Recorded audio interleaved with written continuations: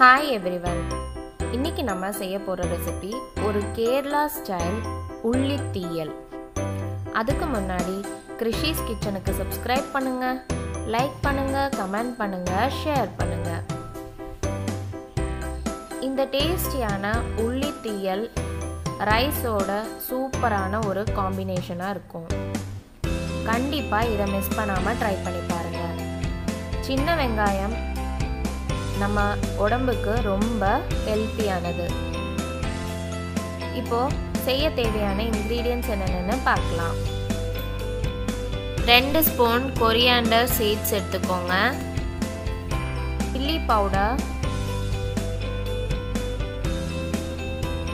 ஒரு நெல்லிக்காய் சைஸ் புளி ஊற வச்சுக்கோங்க. மஞ்சள் தூள். பாதி தேங்காய் துருவினது. இருபது சின்ன வெங்காயம். நாலு பல் பூண்டு. இப்போ முதல்ல நம்ம ஒரு பேனில் கோகனட்டை ட்ரை ரோஸ்ட் பண்ணிக்கலாம். எண்ணெய் எதுவும் ஊற்றக்கூடாது ட்ரை ரோஸ்ட் தான் பண்ணணும்.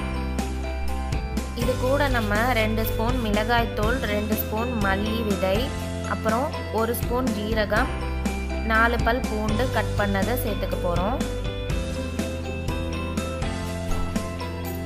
இப்போ நல்லா தேங்காய் நல்லா கலர் சேஞ்ச் ஆகிற வரைக்கும் நல்லா ரோஸ்ட் பண்ணிக்கோங்க.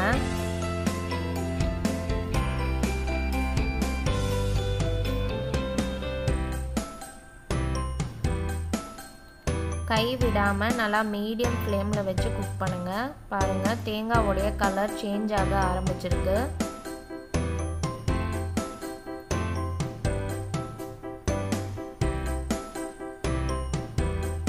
இப்போ நல்லா ப்ரௌனாக ஆயிடுச்சு நம்ம தேங்காய். இனி நம்ம எடுத்து வச்சிருக்கிற இன்க்ரீடியன்ஸ் எல்லாம் இதில் ஆட் பண்ணிக்கலாம். மிளகாய் தூள் ஜீரகம் மல்லி விதை அப்புறம் பூண்டு. மல்லி விதை ரெண்டு ஸ்பூனுக்கு பதிலாக ரெண்டு ஸ்பூன் மல்லித்தூள் கூட சேர்த்துக்கலாம். சேர்த்துட்டு நல்லா மிக்ஸ் பண்ணிக்கோங்க.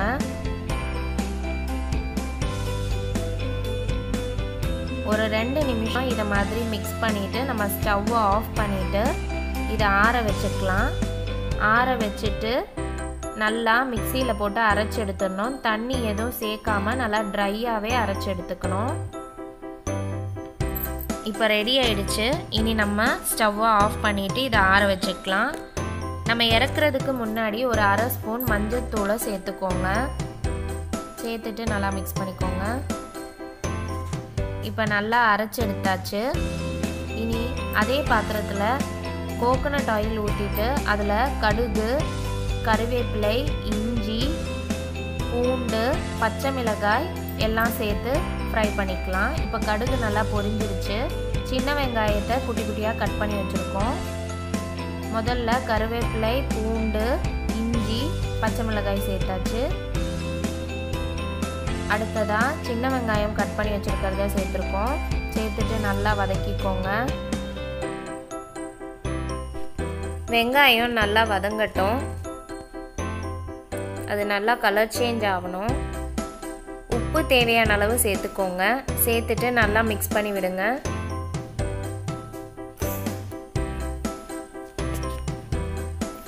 நம்ம இப்போ அரைச்சி வச்சுருக்கோம் இல்லையா? அந்த தேங்காவோடைய மிக்சரை இதில் சேர்த்துக்கலாம்.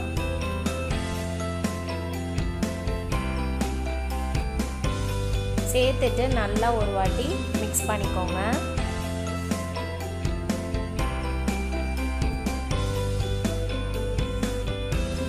ஒரு ரெண்டு நிமிஷம் நல்லா இதை வதக்கணும்.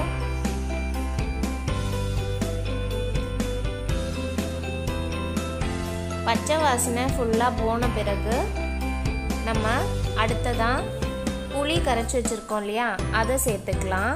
ஒரு நெல்லிக்காய் சைஸ் புளியை கரைச்சி வச்சுருக்கோம். அதை சேர்த்து நல்லா கலந்து விட்டுக்கோங்க.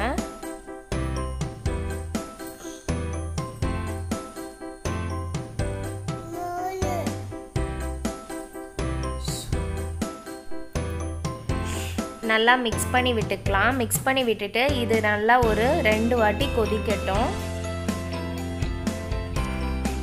கொதிச்சுட்டு நம்ம கிரேவி கொஞ்சம் லைட்டாக திக்கான உடனே ஸ்டாப் பண்ணிக்கலாம். உப்பு தேவையான அளவு சேர்த்துக்கோங்க. சேர்த்துட்டு நல்லா மிக்ஸ் பண்ணி விட்டுக்கோங்க.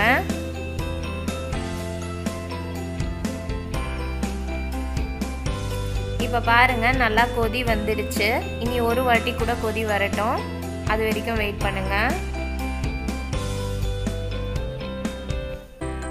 நம்ம இந்த ரெசிபி கேரளா ஸ்டைலில் செய்கிறனால கோகோனட் ஆயில் தான் யூஸ் பண்ணியிருக்கோம் உங்களுக்கு வேணும்னா சன்ஃப்ளவர் ஆயில் கூட யூஸ் பண்ணிக்கலாம். பட் கோகோனட் ஆயிலில் செய்கிற அளவுக்கு டேஸ்ட்டு வேறு எந்த ஆயில்லையுமே வராது. அதனால் கண்டிப்பாக கோகோனட் ஆயிலே ட்ரை பண்ணி பாருங்கள் இப்போ பாருங்கள் மேலோட்டமாக எண்ணெய் எல்லாம் பிரிஞ்சு வந்திருக்கு.